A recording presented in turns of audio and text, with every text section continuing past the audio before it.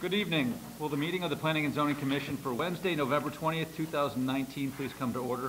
For the benefit of those who may not have participated in a Planning and Zoning Commission meeting, our procedures are as follows. One, the secretary will read the legal call of the meeting. It's published in the local newspapers. Two, the applicant will be invited to come forward and present the case, explain to the commission and others present what is being requested of this property.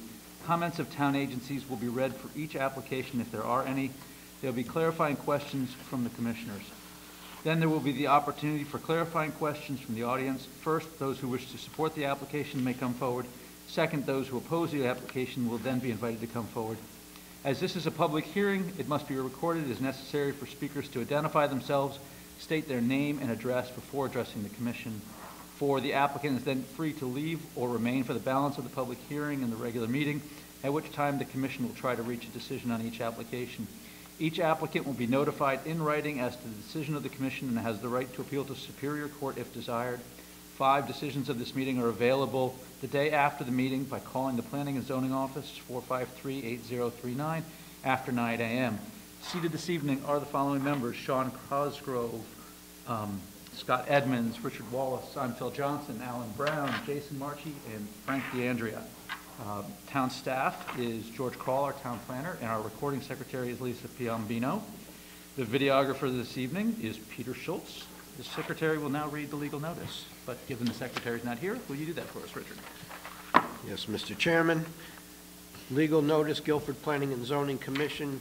Notice is hereby given that the Guilford Planning and Zoning Commission will hold a public hearing on November 20th, 2019 at 7:30 PM at location Nathanael B. Greene Community Center, 32 Church Street, Guilford, Connecticut, in the Menunkatuck Room on the second floor for the following purposes. J.J. Sullivan, 229 River Street, map 39, lot 12, Zone C4, coastal area site plan and site plan revision for site grading and retaining wall, plumbing and electrical upgrades associated with an expansion of containment area for a 200,000 gallon tank for heating oil storage. Copies of these applications are available for inspection at the Planning and Zoning Office, Town Hall South, 50 Boston Street, Guilford, Connecticut. At this, this meeting, persons may be heard and written communications will be received. Dated at Guilford, Connecticut, 29th day of October, 2019. Philip Johnson, Chairman. I believe this has been Yes, that item has been tabled to December 18th. Um, So our first public hearing, which is a continuation from our last meeting, is Michelle Ladano, 18 Graves Ave, map 40, lot 18, zone R1, special permit application per section 273-13C to change one non-conforming commercial slash industrial use to another non-conforming use as a two-family residence in an R1 zone for a total of three residential units on the property. Hi. Hi.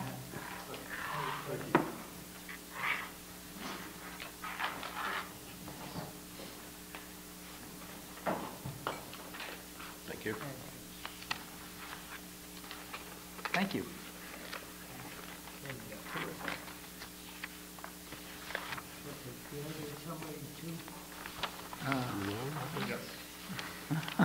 Scott, come on, Thank you man. very much. Thank you. Snag.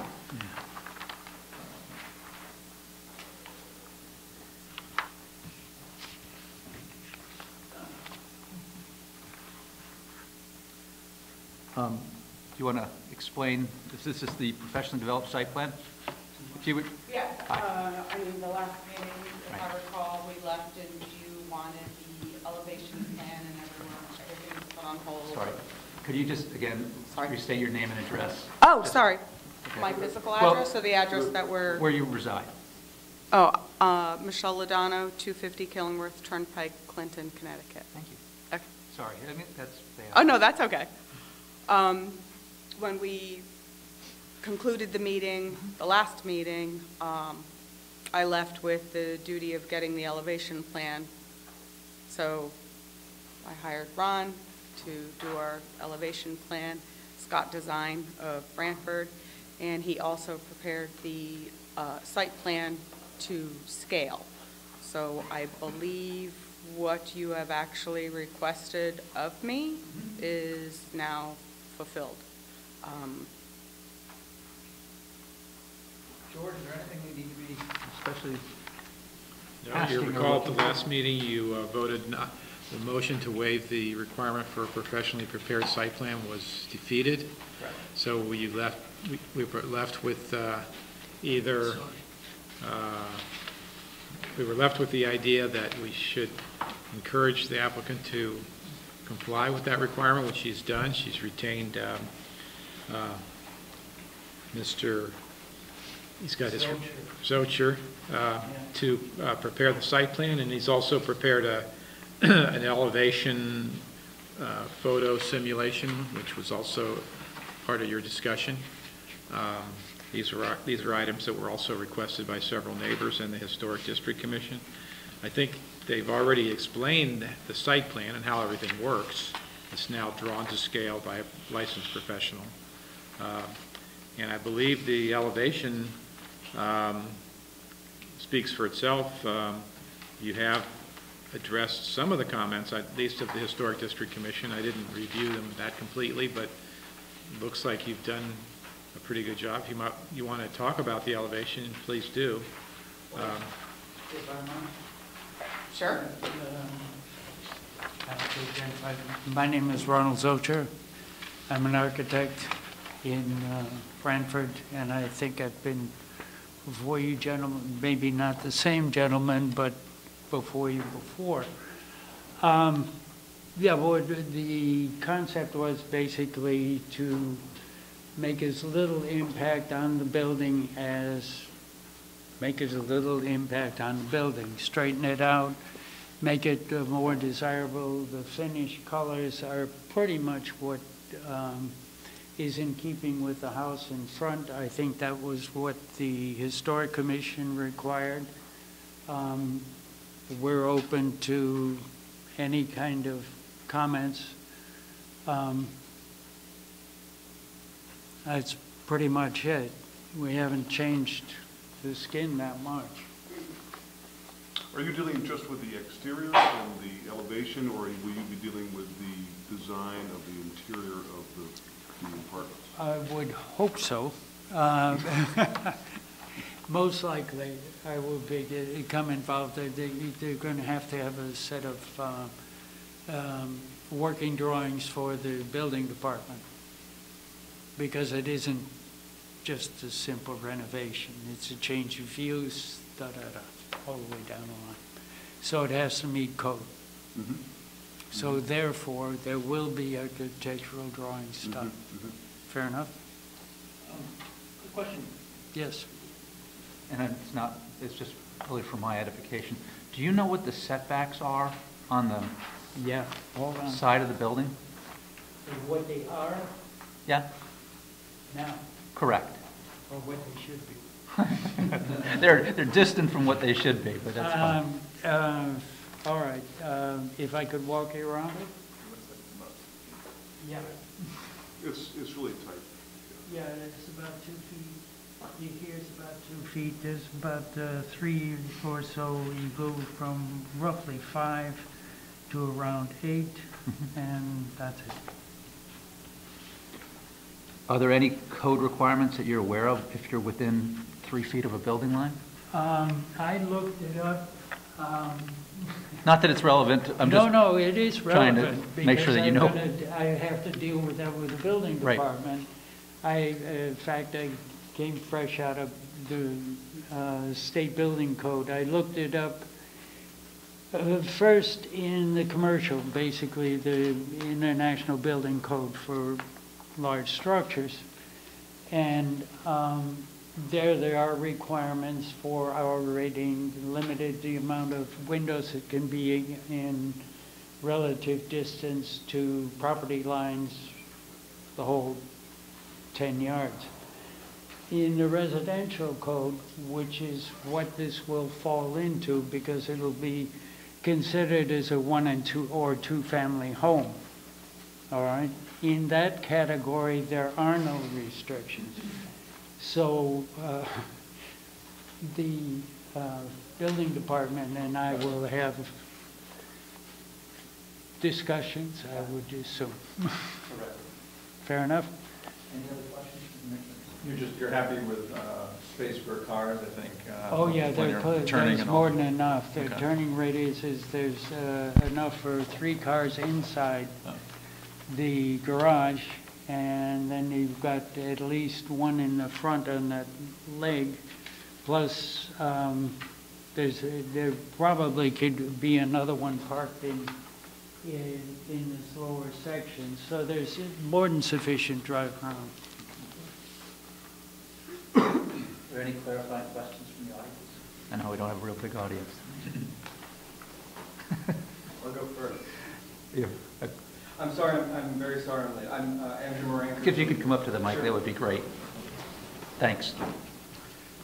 So, I'm, uh, It's not, it's actually, oh, it's just for the TV, so everyone can hear you when they watch. uh, I'm Andrew Moranker. I'm, uh, uh, live at 28 Graves Avenue. I apologize for being late. I No. haven't been, uh, to your presentation. Uh, So, um, I mean, my main question was, uh, was this the, the professional plan that was, that was sought for, and that, and has been executed? And so you are being provided with the information that, uh, that- that you need. So that's great. Uh, And the second, the second component I had was, um, you're being, it's my understanding, you are being asked to uh, consider a, a, um, all this language, is non, one non-conforming to another non-conforming. Well, A less, Yeah. lesser non-conforming.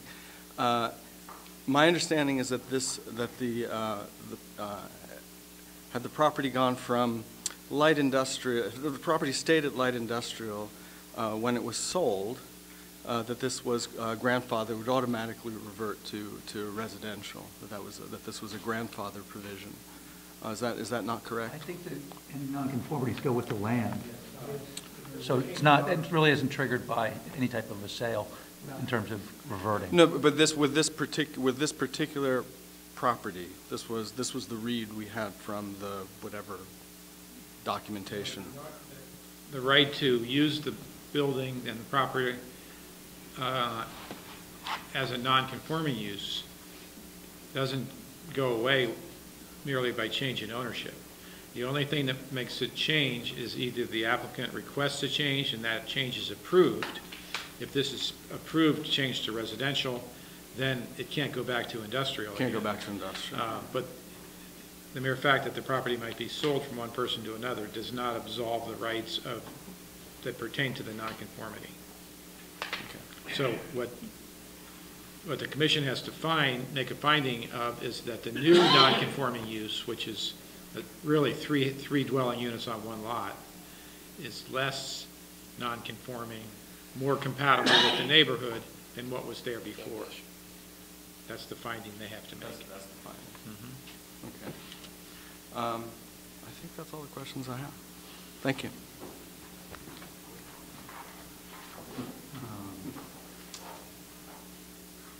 Would anyone like speak in favor of the application? Ron, I don't see a date on your little drawing here. Can Oh, I, I'm so sorry. can I put today's date on it? Yes, please. Okay. Um, Would anyone like to speak against? Uh, With no comments either for or against, would someone like to make a motion to close the public hearing?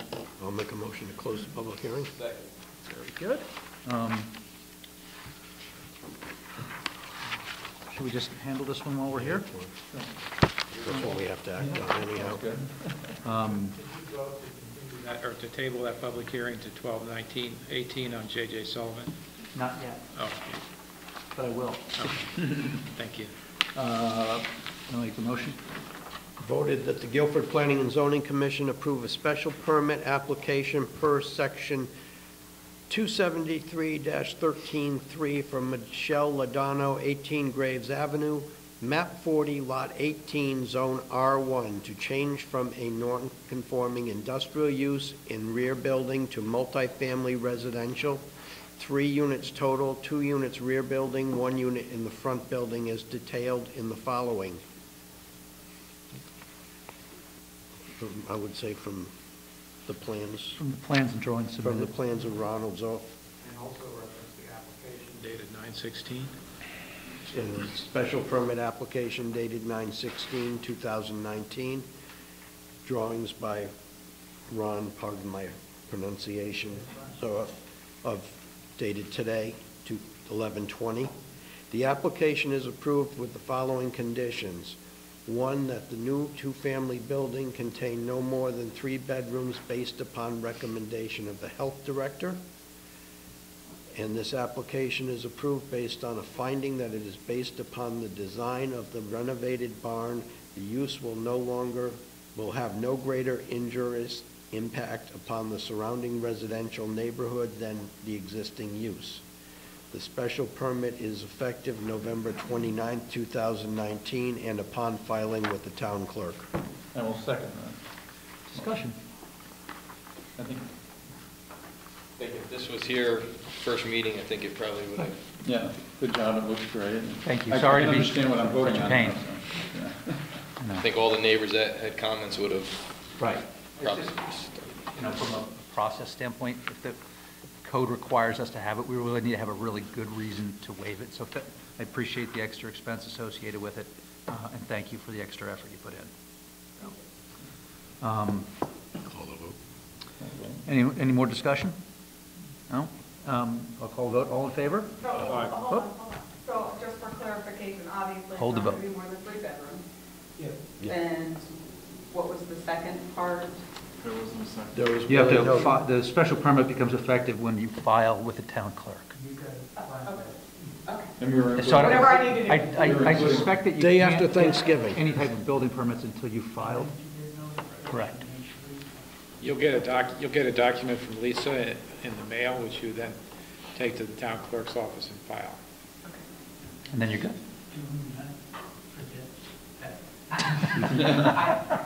After this, I don't Good. think- Um, So I- I'll, I'll call, I'll call the vote. All in favor? Aye. Motion passes. Have fun. All right. Um, Motion to table Davis Sullivan to 12, 18, 19. Second. uh, All in favor? Aye. Okay, we did the public hearings, regular meeting, pending applications. Robert Mangino, architect, owner, PDC LLC, Boston Post Road, map 78, lot 13, zone TS2, site plan modification to allow for sale of landscaping materials, including tractors and tools. Extension granted to 115. Uh, New, act- yes. Uh, Table or, Yeah, table, Or approve the it said extension. approve the extension or table? both. You should do, Are we you can do, tabling it to the 15th? Yeah. Uh, It's not a motion to public table hearing. to 115, 20. Second. All in favor? Thank you. Uh, New application scale, Magnet Zubal, 267 Old Sachem's Head Road, map 8, lot 32, zone A5, coastal site plan for construction of freestanding wooden deck with partial pergola, receive and set public hearing date for 12/18/19. Second. All in favor? Aye. Um, With the mandatory referral is what?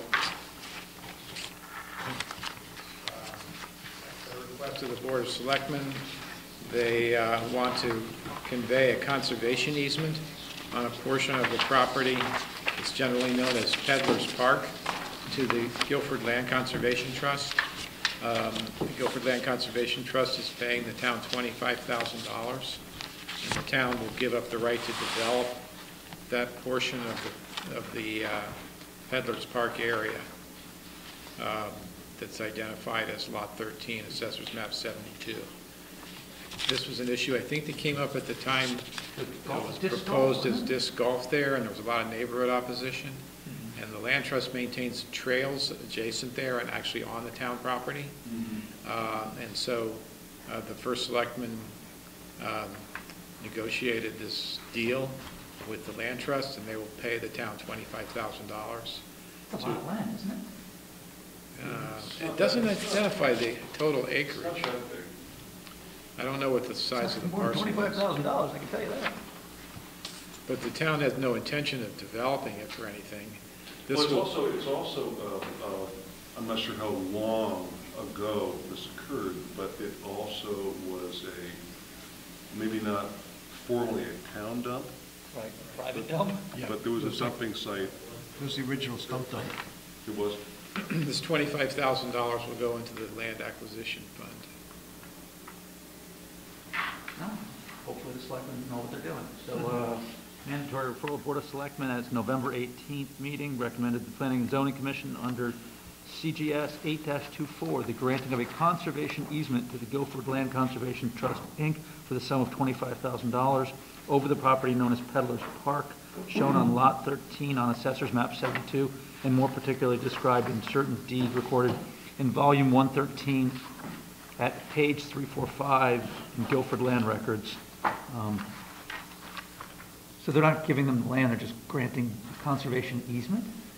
Well, the town is saying, we're not going to develop it, and they're granting to the Land Conservation Trust the ability to enforce that easement.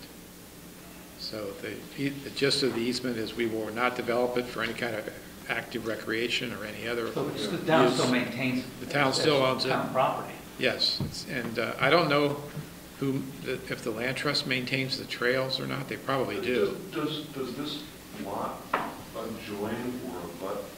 I think it does Conservation land. And it does, it adjoins the state forest, which is part of the whole Westwoods complex there. So it makes sense, the land trust wouldn't do it, it was just a little isolated island of land. No, the fact that they're giving the town twenty-five thousand dollars is somewhat unusual. I don't remember this ever happening.